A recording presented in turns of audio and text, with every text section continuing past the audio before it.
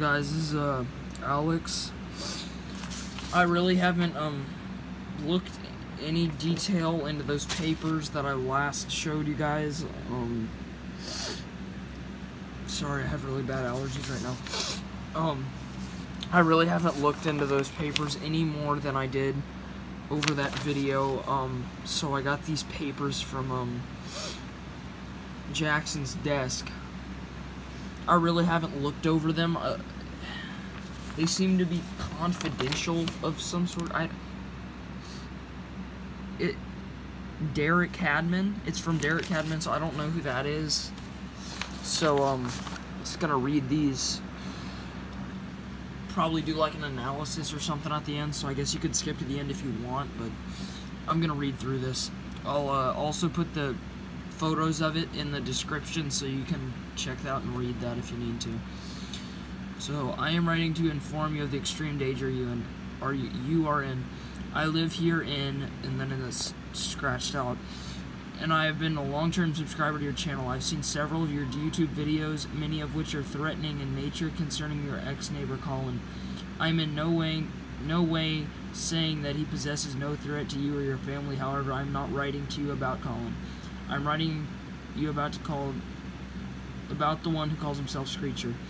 This figure, who I have no reason to believe is truly a 17-year-old boy named James Greenwood, possesses an extreme risk to you, your family, and everyone in this town. I have been working for the past two years of my life to uncover the secrets of James' family and a dangerous forgotten history inside of our town.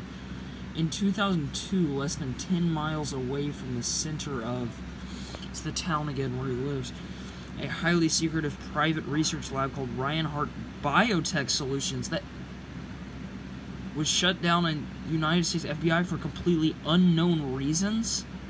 This cover-up has been hidden for years. This is the same laboratory referenced in the papers that, yep, Alex uncovered in the last video uploaded to your channel.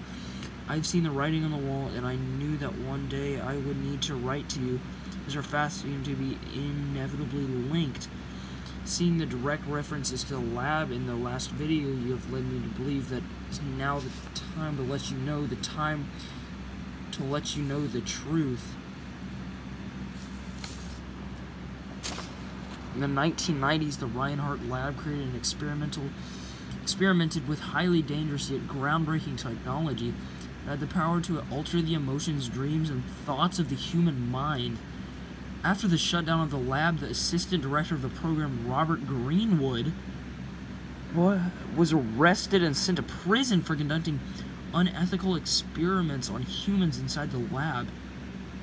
The news articles of the time say that he was arrested for possessions of illegal chemical substances. However, these go in almost no detail on what these weapons were or were used for. Robert died in a state penitentiary in 2018 for what was described as complications due to extreme schizophrenia. Whatever was created in the lab damaged his mind beyond repair. I also believe it affected the mind of his son, James. But unlike his father, James is highly intelligent and very much alive.